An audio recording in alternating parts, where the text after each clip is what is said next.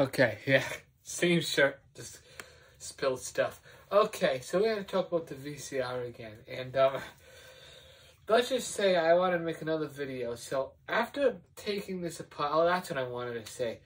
You know, when I opened my VCR, because I had to swab all different stuff with alcohol, it said it's the best to clean stuff, especially if you put a moldy tape in. Um, and I usually I usually pay attention to and look at the tape, but the inside of it was a little moldy, and you know I had to clean it out just in case.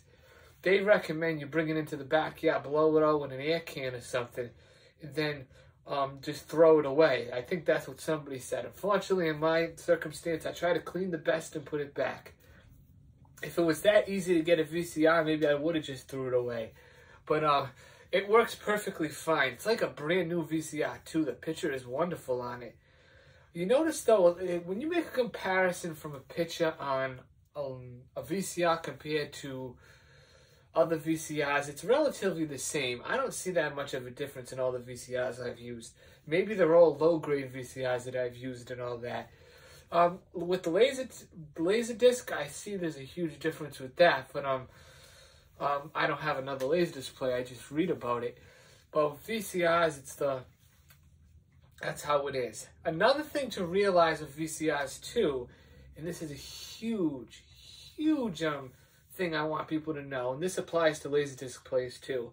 With a VCR, you should never buy a brand new VCR that's been in the box for like 30 years or 25 years. The reason why I say that is, is because pieces, pieces in, of equipment, um, gears inside, they all seize up and then they won't work anymore. So, you know, people, they go out and they buy these old machines not realizing that. Like ones that are in the box that are sealed and then when they go to open them, they're shit out of luck. I don't know what happens to an eBay seller if it's something like that. You know, eBay sellers have stipulations so they don't so they don't have to accept returns. The only problem with that is is that um you can override that. eBay will give you your money back if if the item is broken or destroyed. Um, I think they should, but at the same time, I don't think the seller should suffer for it either. There has to be some compromise eBay can make. But you know eBay, they don't have any brains. So so it looks like it's just going to keep going the same way it's been going always. You buy a VCR, um, they say you can't take it back. It works fine.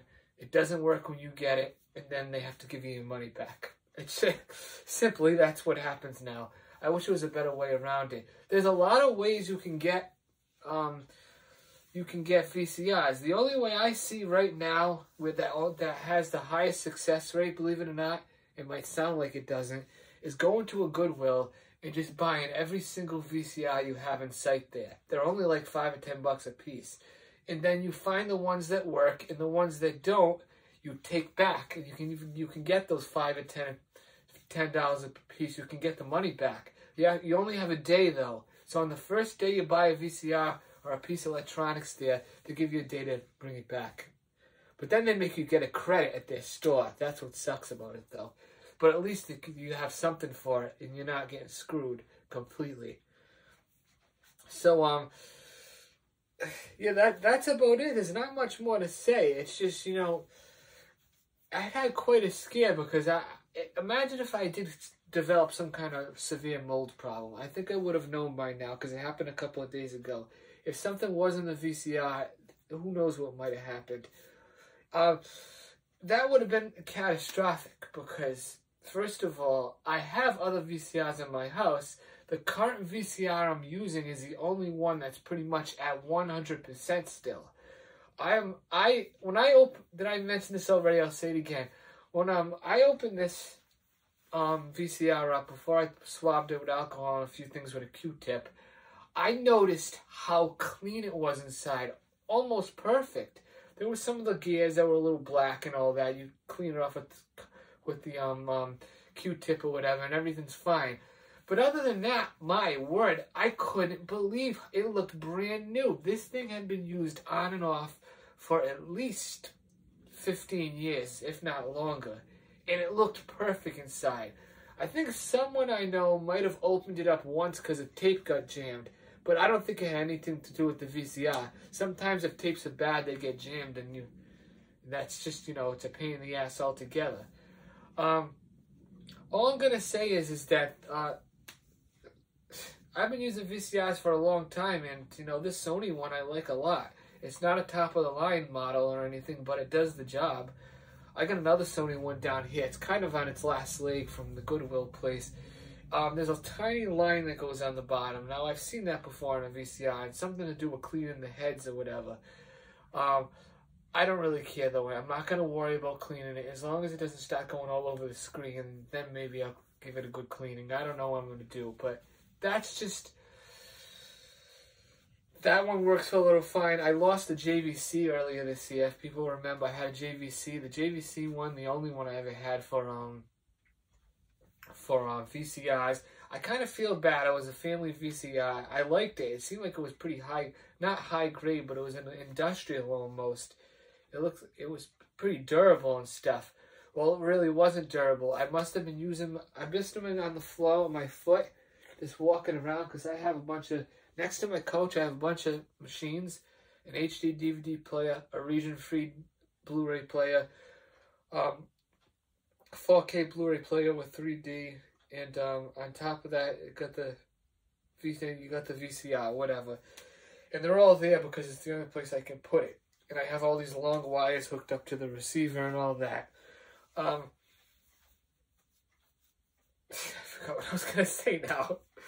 Um, yeah, that that's that's just it. I'm trying to think. I'm just looking at it, and um so I, I yeah, well, I, I don't remember now. So I, I, was using the JVC VCR and I hit it and um, I must have kicked it by accident. I broke the some of the buttons on the front. You couldn't tell because visibly you couldn't tell. You'd have to take the front cover off, I guess, to see because the buttons are inside. There's usually just a plastic on the outside that cover the real buttons. So I um I must have broke the play button up, stop button, well, not completely, but almost to the point where it didn't work anymore. And then eventually wouldn't work at all. Now, I was thinking about this.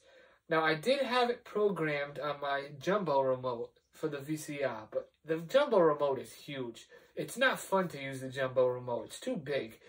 So I decided I'm not going to use um, the jumbo remote because first of all, it might play, it might stop, but all the other functions in the menu, there's some things I can't do without the actual remote, which I didn't have in the first place. Um, so I just threw it away.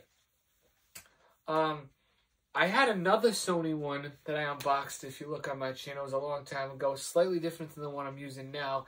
That one had all kind of problems and shit the bed. You know why? That one broke mainly because it was never used. Now, I remember it was at a family member's house, and I can tell you firsthand, when I used to go over there, I always used to watch the movies on the one I watch now. That's probably why it still works. Um, the one I'm talking about was in their living room, and it kind of just sat there. And it didn't serve any purpose. Nobody ever set the clock on it or ever did anything with it. So it was a worthless piece of junk just sitting there. Um, what other VCRs do we have? Um, I can't think of anything else. I, oh yeah, oh yeah, we got we got the um the DVD combo VCR I have upstairs, which I don't have a remote control for it, but um, the only thing I can use is the VCR on it. I know the DVD player probably does work, but without any controls, I can't even play most movies. I I tried putting Star Trek Nemesis into the DVD player, and it brings you to the main menu, and if you click play, it won't play. You need the actual remote control to click enter or whatever it is you know, the middle button in between, um, in between the, the arrow buttons. You have to click that button in order to um, get on the into the movie and stuff. I wish some DVD, no, not just some, all DVDs should just boot up right into the menu when you put them in. All the Dollar Tree ones I bought don't even have a menu. That way, if for some reason you do lose your um remote control, you can at least play the movie from the beginning, even if you can't go to a certain scene. Nowadays, if you don't have the controller, you can't do anything. You can't get into the menu, nothing. That's why I don't like that. What else can I say about the VCR? The VCR is a very um, tough product, and I have to say, in some ways, it's more difficult to get than a Laserdisc player. Because um, at least with the Laserdisc player, um, there's less of a chance you'll get disappointed because you'll see less models. You'll see a lot of ton of VCRs that you can buy. You're to notice that about more than 75% of them just don't work anymore. Um, you're gonna have to cut and take some sacrifices too. Like I said with mine from the Goodwill that has a little line on the bottom. You're just gonna have to live with it. There's nothing you can do about it unless you want to go buy $200 VCRs on eBay and not have them work. Now, the ones that might work because it hasn't been that long are those Funai, the, the, but they're low quality VCRs from what I see. They the last one they made was 2016. Those might work still pretty good because they're not very old. They're not even a decade old yet. So they're about um, nine, they're about seven years old. Those might work, but the, the quality, would you want to sacrifice quality? Um, that's something you may want to consider. And you have to consider the tape itself. No, even the best VCR is not going to show a, a shitty tape very well. All right, that's it. Bye bye.